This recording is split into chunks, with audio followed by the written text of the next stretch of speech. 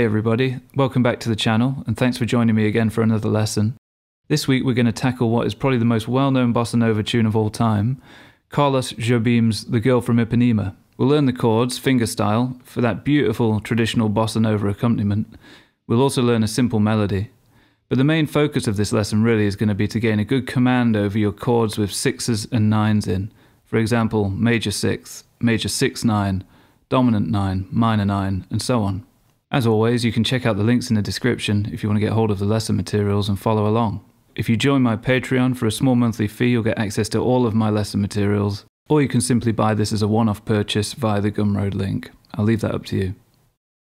So, let's jump straight in. We're going to learn to play this in its original key of D flat, as opposed to the key of F, which I know a lot of people play it in nowadays, uh, but we're going to go old school. For our D flat major chord, our 1 chord, we're going to opt to play a 6-9 type of chord. As you'll know if you've seen many of my videos, I'm a huge fan of this kind of chord sound. The 6-9 for me is a firm favourite. We're going to root this on the A string, 4th fret, first finger barring the 3rd fret of the D and G, and then the 3rd finger on the 4th fret of the B string. So you've got your root, your 3rd, your 6 and your 9. For our introduction, we're just simply going to hold on to this chord for 4 bars, and apply a good old bossa nova finger picking pattern.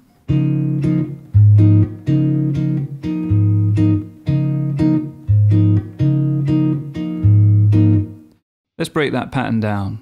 So first of all, the thumb is going to alternate the bass between the root and the fifth of the chord. In this case, that's the A string and the low E string.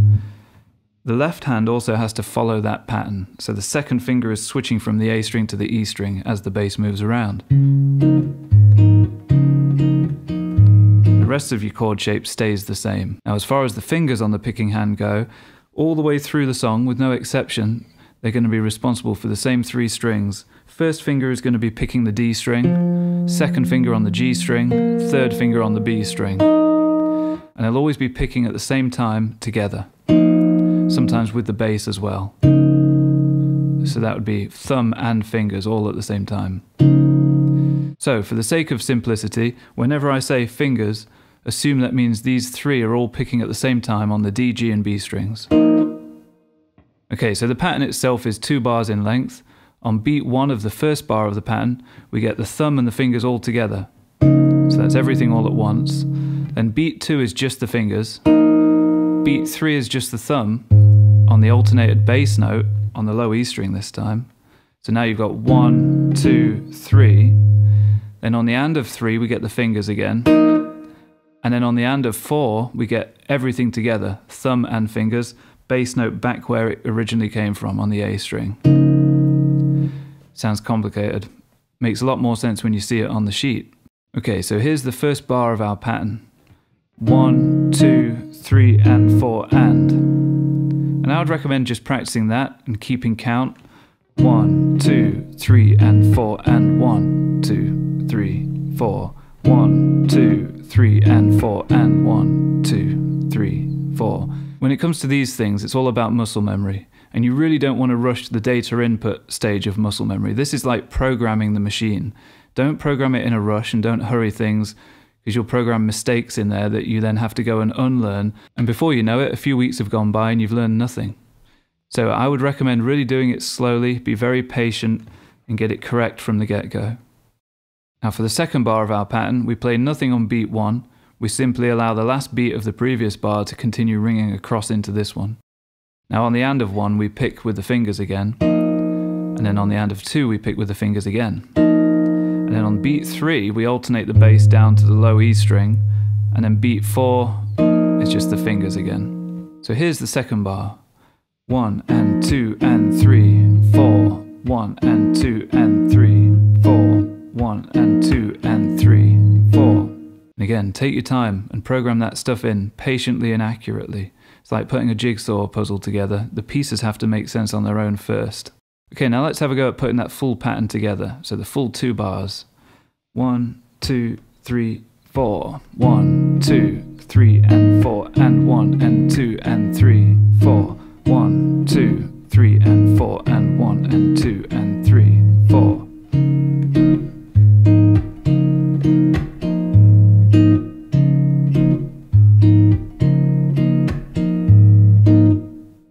that's the pattern we're going to default to for about 90% of this piece. There'll be the odd moment where we have to vary it a little, but we'll talk about that when it happens. Okay, now let's get on to learning the rest of the changes.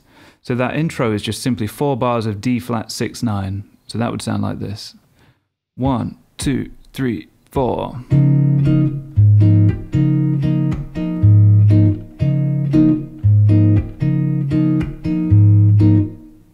Now we begin the A section. D flat 6 9 for another two bars. Then we move along to E flat 9. So that's an E flat 7. Visualize this three note voicing off the A string. And add the 9 at the 6th fret of the B string. So think of it as an E flat 7 first and foremost, but with the 9 as its upper extension. Still alternating the bass in the same way. And then we're going to make it a minor 9. Now, this is where there's real value in knowing where your intervals are within your chord shapes. Knowing that the third is currently occupying the D string means that all you've got to do to make this a minor 9 is drop that down a semitone. Flat 3, flat 7 and 9. And we're only going to spend one bar on this chord, which means we're only going to make it halfway through our pattern before we have to move on to the next chord. 1, 2, 3, 4 and. So in fact we're moving to our new chord on the and of 4 and the new chord is a D9, so the same shape we had a semitone higher for the E flat 9 a moment ago. Look at how little movement we've had to do here. From the E flat 9, we then flatten the third, and then we bring everything else down while that first finger stayed where it was. then we're back to our 1 the D flat 6 9. And this is where the pattern changes for the first time. Again, we're only doing one bar here. One, two, three, and four. On the and of four, we're going to move this shape up a semitone, keeping that low E string in the bass, play that on the and of four, and then on beat one of the next bar, play the fingers, and then move the bass note back to the A string, and hit everything together on beat two. One, two, three, four, and one, two, three, four. It's like a turnaround. And all we're doing is taking a D flat 6 9 up a semitone to a D 6 9, which is kind of like a tritone substitution for the 5 chord. We're sort of implying a 1 5 kind of movement there. D flat to A flat 7. D dominant would be your tritone sub. We're making it a 6 9 type of chord, and it still works pretty much in the same way. Then we go back to the start of the A section and go around everything again. D flat 6 9, E flat 9, minor 9, D 9, D flat 6 9. Stay on it this time. We're not playing a turnaround because we don't want to go around again. Now we go into the B section where we move this D flat up a semitone to D, and we could play just that same kind of chord again, a D6 9, but because I want this lesson to be kind of a thorough overview of many of the different types of chords that have sixes and nines in, I decided we should play a major nine here, which is only one note different from the six nine. Instead of a six, we have a seven. So you've got the root, the three, the seven, and the nine. Two bars there with the usual pattern. And then a G7, two bars there. And then we're going to play a D minor 9, and this is at the 5th fret of the A string, root, flat 3, flat 7, 9. So again, this is a shape we used earlier, a semitone higher for the E flat minor 9. Two bars here, and then a B flat 7.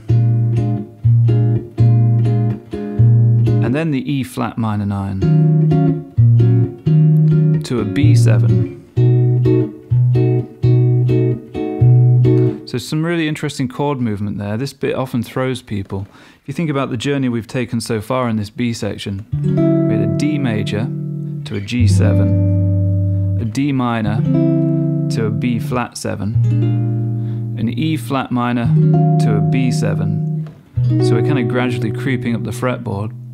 Now what comes next is something a little more familiar if you've played a lot of jazz. We do a couple of two fives. F minor 7, B flat 7, funky thing here, though, is we've got the flattened fifth, or the sharp 11, in that chord. Think of your three note voicing for a dominant 7 rooted on the low E, adding the flat 5 on the B string. So that's your F minor 7 to your B flat 7 flat 5, and then your E flat minor 7 to your A flat 7 flat 5. So it's just moving down through a cycle of fourths. So you could think of it as a 2 5 in E flat, and then a 2 5 in the home key of D flat. And that will resolve when we start the final A section. One bar of each.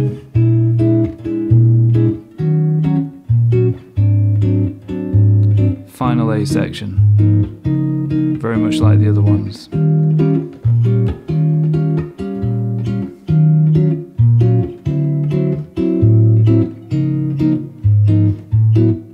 Put the turnaround on it if you intend to go back to the top of the song and start again. But if not, if you want to end it here, which we're going to do, we're going to do this cool little ending, quite common in this style.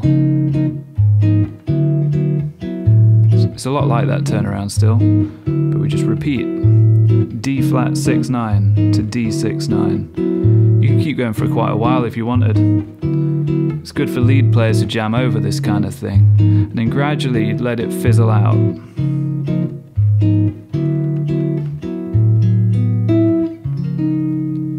finish back on the one.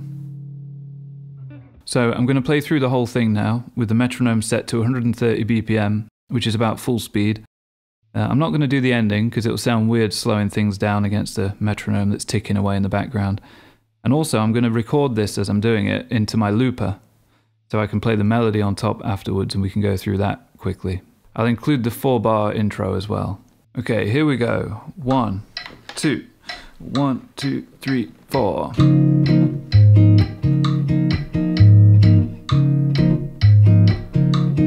A section.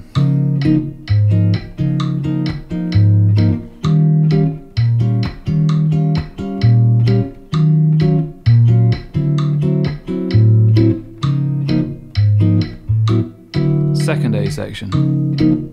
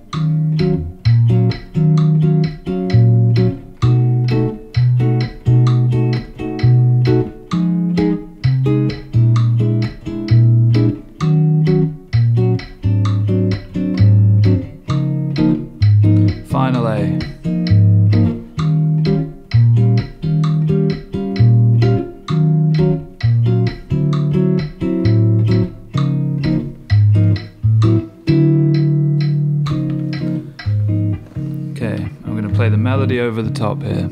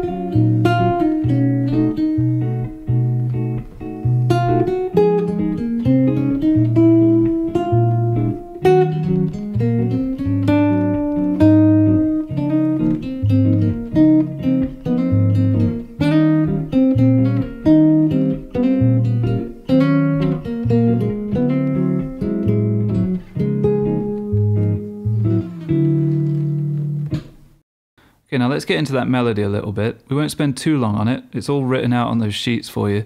Uh, and it's fairly simple, but there's a couple of little pointers I can give you along the way. So the melody starts here on the 9 of our D flat 6 9. That's how I remember how this relates to the tonic chord. Makes things easy to move around if you have to change keys. And there's the major 7th and the 6th. So the melody really is built out of these major D flat ingredients 9, 7, and 6. Stays the same on the E flat 9. And then on the E flat minor 9, the flat 7. And then follow that flat 7 down to the D7. And then finish up on the 5th of the 1 chord. Make sure as well that you play this with some freedom and some expression. You know, be kind of loose with your timing, make it sound lyrical and playful. Now, the B section's where things get a little more complicated with the melody. Uh, now, think about the first chord of the B section, D major 9. And again, this is where it's really useful to relate lead parts to chord shapes so you can remember them quickly. You know, here's my major 9. I'm grabbing this major 7 and using it as a landmark to start my melody. And it's all stuff from a D major scale. And then over the D minor 9, the melody's going to start on the 9. Now it's all stuff from a D minor kind of scale. Then on the E flat minor 9, same thing a fret higher, starting on the 9, same shape. And then when we're going to the F minor 7, we're going to walk up to this minor third from the chord shape, and then drop down an octave. Kind of following that spicy flat 5 sound from the chord. And then we can be thinking about basically moving that same shape down a whole tone, but tweaking one little thing to keep it within the D flat major scale. But again, we're targeting that flat 5 at the end. F minor 7, B flat 7 with a flat 5, E flat minor 7, A flat 7 with a flat 5, back to the final A section.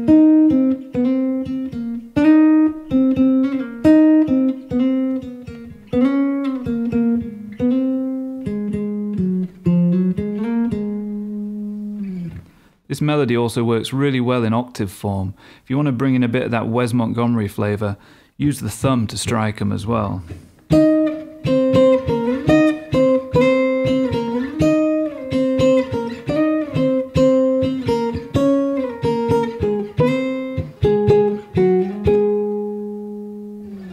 Also include that in the sheet as a variation on the melody. I'd highly recommend listening to a lot of this bossa nova music from the early 60s. Jobim was kind of the master of it all. A couple of other standout songs for me would be Desafinado and Aguas de Marco. I'll include a couple of links in the description to some really good versions of those songs. Gear-wise today, it's pretty simple. I'm using my 1958 Gibson ES175. Recently got this back from a refret, and it sounds and feels absolutely amazing. It's kind of hard to play before the refret, to be honest. Some of the frets were down almost as far as the wood, it really felt like you were dragging your fingers along the fingerboard itself. Now it feels really comfortable and quick to play. Beautiful sounding thing. I'm running it through my Lazy J 20 amp and I'm using a Strymon Flint for a touch of spring reverb. The strings on here are D'Addario EPN 21s. They're 12 gauge pure nickel strings with a wound third. They sound really good on here, although I'll probably try some flat next. I'm going to figure out what this guitar really likes string wise. So I hope you've enjoyed this bossa nova fingerstyle lesson. That makes two bossa nova pieces we've covered now. This one in the more traditional Jobim style, and the previous one more of a gypsy jazz style with the plectrum uh, and some strumming. That was the Bossa Dorado one. Do check that out if you've not seen it. So thanks so much for watching. Please do like and subscribe and hit the notification bell. All of those things make a huge difference to the visibility and the growth of this channel, and it really does mean a lot to me. I want to keep making these videos and I'm determined to see this place go from strength to strength. So again, thanks for watching guys, and I'll see you next week for another lesson. Take care.